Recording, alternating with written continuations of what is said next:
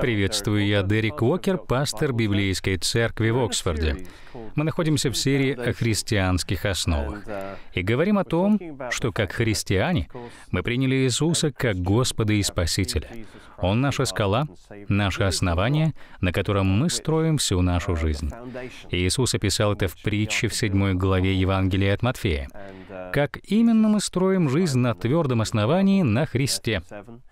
Мы слушаем и исполняем Его Слово. Когда мы применяем в своей жизни Его учение, мы строим дом своей жизни, созидаем свой характер. В шестой главе послания к евреям говорится об определенных фундаментальных доктринах, потому что когда вы строите дом, вы начинаете с фундамента а не с крыши. Дом нужно строить снизу вверх. Существуют определенные основные доктрины, основные принципы. Их называют молоком Слова Божьего. Сначала нужно утвердиться в этом, а уже потом подниматься на верхние этажи дома и на крышу. Если вы нарушите порядок, получится полный хаос. В этой серии мы делаем большее ударение на фундаментальных доктринах, о том, что нужно в самом начале, прежде чем вы продолжите продвигаться к более высоким откровениям. У проповедников есть искушение сразу пуститься в увлекательные глубокие откровения, тогда как люди еще даже не приняли молоко и не применили его в своей жизни. Итак, молоко слова — основные доктрины, описанные в шестой главе послания к евреям. Он говорит, что к этому времени мы должны были уже утвердиться в начатках и идти дальше, и затем описывает, что это за начатки учения. И говорит, и не станем снова полагать основания обращению от мертвых дел и вере в Бога, учению о крещениях, о возложении рук, о воскресении мертвых и о суде вечном. Это фундаментальные доктрины. Они являются крайне важными для христианской жизни, для того, чтобы мы их понимали и могли применять. Это молоко слова, прежде чем приступать к твердой пище. Мы в этой серии собираемся рассмотреть все эти основные доктрины. Сейчас мы еще находимся на первых двух, то есть на обращении от мертвых дел и на вере в Бога. Мы учимся жить Божьим путем. Раньше мы жили по-своему, полагались на самих себя, питаясь от древа познания добра и зла. Наши дела были мертвые. Они не имели ценности для Бога, даже если впечатляли людей. Мы должны научиться новому образу жизни. Об этом мы и говорим. О том, что Бог дал нам рождение свыше, наш дух возрожден, и Божья благодать изливается из нашего духа. Дух Святой живет в нашем духе, и любовь Божья течет из нашего духа. Мы должны научиться жить из нашего духа и позволить Божьей благодати быть основой всей нашей деятельности. Мы должны научиться жить, доверяя Богу, как источнику нашей жизни. Мы должны покаяться в прежней жизни мертвых дел, уповании на себя и научиться быть на связи с Богом. В прошлый раз мы говорили о преображении. Это слово «метаморфозис». С этого мы продолжим наш сегодняшний разговор. Мы видели в Писании, что в послании к римлянам, 12 главе, к примеру, сказано, что сначала вы должны представить себя в жертву Богу как живую и совершенную. Эта жертва приносится в вере, и это высвободит Духа Святого. Он вас преобразит. То есть, когда вы подчиняете свое тело и душу Богу, это позволяет Духу Святому в вашем духе течь в вашу душу. Это и есть преображение. То есть, когда жизнь в вашем духе проистекает в ваше сердце и душу, просветляя ваш разум, укрепляя вашу волю и наполняя ваше сердце Его любовью. И тогда вы сможете ходить и жить в любви, в воле Божией вашей жизни. И происходит это через обновление ума. Поэтому, когда вы читаете Слово Божие и видите, кто вы во Христе, видите ресурсы, доступные вам посредством Духа Святого, ваша вера растет. Вы черпаете эту жизнь и преображаетесь. Третья глава второго послания Коринфянам описывает это преображение через Духа Святого. Он преображает нас от славы в славу. Когда мы заглядываем в зеркало Слова, то внутри нас изливается слава, и она начинает нас преображать изнутри, превращая нашу воду в вино. Ну а сейчас мы посмотрим еще один классический стих о преображении. Послание Иакова, первая глава, 21 стих. Здесь говорится, «В кротости примите насаждаемое слово, могущее спасти вашу душу». То есть, Слово Божие в нас способно спасти нашу душу. Это то, о чем мы говорим. Ваш дух уже спасен при рождении свыше. Ваша душа — это ваша воля, разум и эмоции.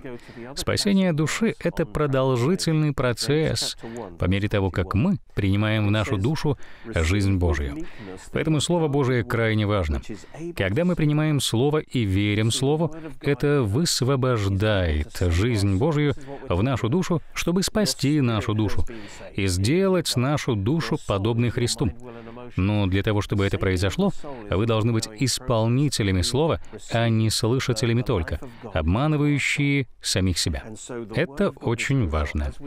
Прежде всего, мы принимаем слово в сердце, принимаем жизнь Божью, но также мы должны исполнять слово. Слово говорит о том, что у нас внутри Божья любовь. Мы позволяем себе наполняться Духом Божьим, Божьей любовью. Но также мы должны сами действовать с любовью, ходить в этой любви. Иначе мы остановим этот процесс. Мы также должны быть исполнителями слова, иначе мы обманываем самих себя. Духовного роста не будет, пока мы не начнем исполнять Слово Божие. Если мы просто принимаем и принимаем, но не исполняем, то мы останавливаем поток благодати в нашу жизнь. Мы должны быть исполнителями Слова. То, что говорит здесь Иаков, совпадает с тем, чему учил Иисус в седьмой главе Евангелия от Матфея. Если вы помните, Он говорил о двух способах постройки дома.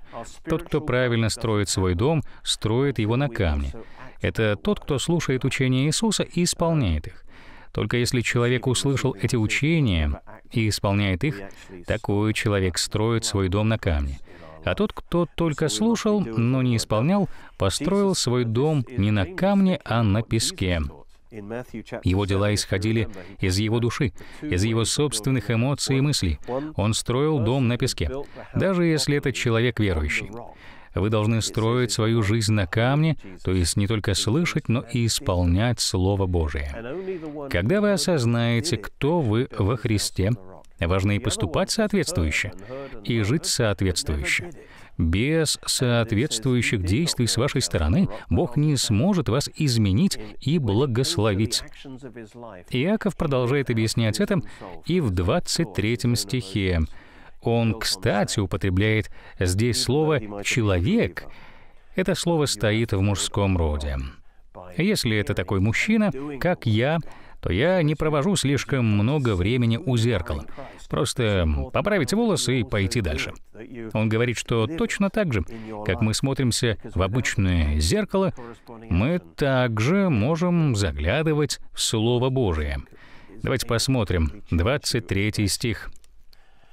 Ибо кто слушает Слово и не исполняет, тот подобен человеку, рассматривающему природные черты лица своего в зеркале. Он посмотрел на себя, отошел и тотчас забыл, каков он. Мы не слишком долго концентрируемся на Слове Божьем, не размышляем над ним, и в результате мы быстро забываем то, что прочитали в слове о самих себе. Поэтому при наступлении тяжелой ситуации мы ведем себя не как должно по слову, а ведем себя как естественный человек, потому что мы не позволили Слову Божьему изменить наше мышление. Мы не позволили Слову обновить наш разум, и поэтому не произошло того самого преображения. Он продолжает описывать то, как все должно быть. Но кто вникнет в закон совершенный, закон свободы? Он присматривается в зеркале и видит, что он свободен от проклятия, свободен от власти греха. Он видит, что он полон любви и жизни Божьей. Он видит, кто он в духе. Духовное зеркало показывает вам, кто вы в духе, кто вы во Христе. И он говорит, и этот человек прибудет в нем, прибудет в Слове, будет размышлять над Словом, пока не увидит ясно, кто он теперь. Он говорит, тот человек не слушатель забывчивый, но исполнитель дела. Он проводит время с Богом и в Его Слове, пока ясно не увидит, кто Он, согласно Слову Божьему. Он в это верит и не забывает об этом. В разных жизненных ситуациях он может применять Слово. Он исполнитель Слова. Он обновляет свой разум и меняет свой образ. И затем сказано, что он блажен будет в своем действии. Он будет благословен. То есть он будет применять Слово, и тогда потечет благословение и сила Божия. Когда он размышляет над Словом, обновляя свой ум, начинается преображение, потому что он видит, кто он во Христе. И когда он послушен Слову, в его жизнь высвобождается благословение. Блажен будет он в своем действии. И в этом разница между двумя людьми. Один изменяется, и он благословен в жизни, Другой же не переживает никаких изменений внутри. Итак, Иаков предупреждает, что мы должны быть не только слушателями, но и исполнителями Слова Божьего. И далее в 26 стихе Иаков дает нам три сферы жизни, где мы можем применять Слово. Сегодня я хочу поставить акцент на одной из этих сфер — она представляет собой огромную важность. То, о чем мы сейчас будем говорить, представляет для нашей жизни первостепенную важность. Если кто из вас думает, что он благочестив, то есть практикует свою веру, и не обуздывает своего языка, то есть не держит свой язык под контролем, не управляет им как должно, но обольщает свое сердце, вот у того пустое благочестие. Первое, что вы должны контролировать, это ваш язык. Первое действие в соответствии с вашей верой — это то, что вы произносите своим языком. Затем Иаков говорит еще о двух сферах. В 27 стихе он говорит «чистое», и непорочное благочестие пред Богом и Отцом есть то, чтобы презирать сирот и вдов в их скорбях, то есть помогать нуждающимся, и также, чтобы хранить себя неоскверненным от мира. Я хочу сегодня говорить о том, что нужно контролировать свой язык. Это крайне важно. Более подробно Иаков говорит об этом в третьей главе своего послания. Это то, о чем мы сейчас поговорим более обстоятельно. О языке. Бог есть Дух, и Он высвобождает свою силу на свое творение через слова своих уст, через Слово Свое. Первое, что мы должны делать, в нашем духе духе Божья сила и Его жизнь. И чтобы высвободить эту силу и жизнь, мы произносим слова своими устами. Если наш язык говорит неправильные вещи, мы блокируем силу Божию в нашей жизни. Мы должны покаяться в мертвых делах, в неправильных словах. Мы должны говорить то, что соответствует нашей вере в Бога. Это важный ключ к нашему духовному росту. Итак, мы хотим говорить о языке. Притча 18 глава. Жизнь и смерть во власти языка. Своими устами вы либо высвобождаете жизнь, либо высвобождаете смерть. И вот что сказал Иисус в 12 главе Евангелия от Матфея. «От избытка сердца, говорят уста». Добрый человек из доброго сокровища выносит доброе, а злой человек из злого сокровища выносит злое. Иисус здесь говорит, что, во-первых, у вас в сердце должно быть доброе сокровище. Вы принимаете его через то, что размышляете над Словом Божьим и принимаете в свое сердце преображающую Божью жизнь. Вы создаете в вашем сердце доброе сокровище. Но это только первая стадия — наполнить сердце чем-то добрым, а затем он должен вынести это доброе из своего сердца в свою жизнь. Как это сделать? От избытка сердца говорят уста. То есть вы наполнены этим добром, и сейчас вы высвобождаете это через свои уста. Да, вы должны исполнять Слово. Но первое, вы должны говорить, высвобождать это доброе устами. Провозглашайте Слово. Иисус сказал, «От слов своих оправдаешься, и от слов своих осудишься». Поэтому то, что вы говорите, крайне важно. Ваши слова должны соответствовать Слову, и вы должны высвобождать жизнь Духа через свои слова. Об этом также говорится и в послании к римлянам 10 главе 10 стихе. Итак, рост вашей жизни обусловлен тем, как мы используем наши уста. Соответствуют ли ваши слова Слову Божьему и Божьему Духу? Или ваш язык подчинен плоти? Римлянам 10.10, 10, потому что сердцем веруют к праведности. То есть все начинается с того, что вы поверили в сердце, приняли в сердце Божий ответ, Божью праведность, а устами исповедуют к спасению. Вы высвобождаете свое спасение устами. Словами уст вы высвобождаете то, что есть доброго у вас в сердце. Это очень просто. Всю третью главу Иаков говорит о языке. Мы начнем со второго стиха. Он говорит, «Ибо все мы много согрешаем. Кто не согрешает в слове, тот человек совершенный или зрелый, могущий обуздать и все тело». То есть, Обратите внимание, признаком духовной зрелости является ваша способность обуздывать свой язык. Это показатель духовного роста. А он говорит, что мы должны обуздывать свой язык, потому что тогда мы сможем обуздать и все тело. А это уже интересно. Это означает, что ваш язык — контрольный центр вашего тела и вашей жизни. Контролируя свой язык, вы можете подчинить силе Божией всю вашу жизнь. Если вы будете верой провозглашать Слово Божие, вся ваша жизнь начнет соответствовать Слову, потому что у вашего языка есть власть. Как вы вступили в брак? Помните? Член вашего тела, ваш язык сказал заветное слово «да». То есть ваш язык — контрольный пункт, с помощью которого вы направляете вашу жизнь. Поэтому так важно контролировать свой язык. Затем Иаков дает иллюстрацию. В третьем стихе он говорит, «Вот мы влагаем удила в рот коням, чтобы они повиновались нам и управляем всем телом их». Удивительно, Конь такой большой и сильный, и вдруг такая небольшая вещь, как удила. Но мы можем контролировать коня с помощью этого удила во рту. Поскольку рот — контрольный центр, через него мы и контролируем коня. Также и ваша жизнь вы думаете, ее невозможно контролировать? Но если вы научитесь контролировать ваш язык, ваша жизнь станет в соответствии со Словом Божьим.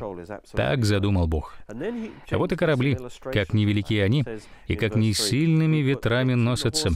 Небольшим рулем направляются, куда хочет кормчий.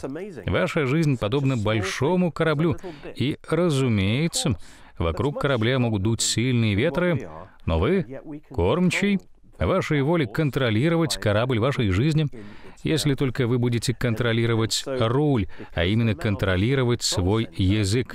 А если мы будем направлять руль, направлять свой язык в согласии с волей Божией, если будем говорить то, что соответствует воле Божией, то вся ваша жизнь будет соответствовать воле Божией. Язык может повернуть корабль вашей жизни в сторону Божьей воли. Вы никогда бы не смогли это сделать своей силой, но, держа в своих руках руль, ваш язык, вы можете контролировать весь корабль. А затем он продолжает говорить о власти языка. Так и язык. Небольшой член, но много делает. Посмотри, небольшой огонь, как много вещества зажигает. Язык — огонь. Прекрасно, не правда? Язык в таком положении находится между членами нашими, что оскверняет все тело и воспаляет круг жизни, будучи сам воспаляем от гиены. Это негативная сторона. Огонь силен. Если его не контролировать, то у вашего языка есть потенциал разрушить всю вашу жизнь. Когда он говорит «он воспаляет круг жизни», имеются в виду все сезоны и циклы жизни. То есть вы проходите в жизни разные стадии. Если вы дадите языку волю, он может все разрушить. Ваша жизнь не будет такой, как могла бы быть, и виной тому ваш язык.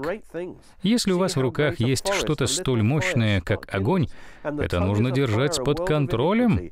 Поэтому нам важно контролировать свой язык, чтобы он говорил то, что сказано в Слове. Это самое важное решение — укротить свой язык. В седьмом стихе он говорит об укращении языка, «Ибо всякое естество зверей и птиц, присмыкающихся и морских животных, укращается и укращено естеством человеческим, а язык укротить никто из людей не может». Это неудержимое зло. Он исполнен смертоносного яда.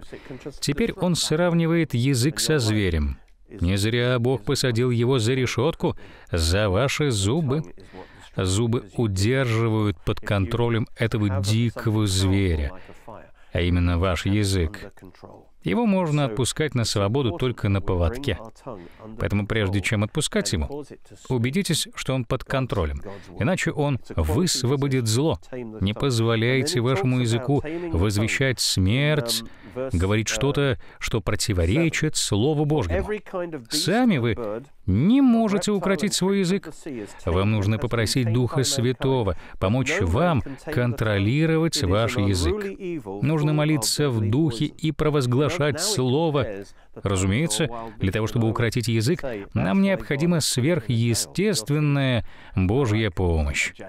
И в девятом стихе мы видим последнюю часть пазла. «Им благословляем Бога и Отца, им проклинаем человеков, сотворенных по подобию Божию. Из тех же уст исходит благословение и проклятие. Не должно, братья мои, сему так быть. Представьте, что в вашем доме есть моя фотография.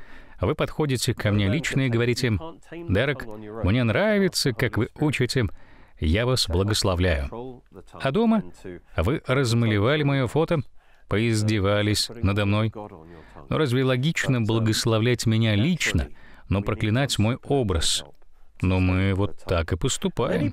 Мы благословляем Бога, но проклинаем людей, созданных по его образу. Яков говорит, что это нелогично. Иногда вы покоряете свой язык добру, а иногда покоряете его злу. А так не должно быть. И затем он говорит, течет ли из одного отверстия источника сладкая и горькая вода. Обычно так не происходит. Обычно сладкая вода течет из одного источника, а горькая — из другого. Однако в случае с нашим языком у нас одно отверстие, но внутри два источника. У нас есть свежий источник воды. Это Дух Божий внутри нас, в нашем духе. И также у нас есть источник горькой воды. Это наша плоть. И оба эти источника хотят прорваться через одно отверстие и вы решаете, кому из них покориться.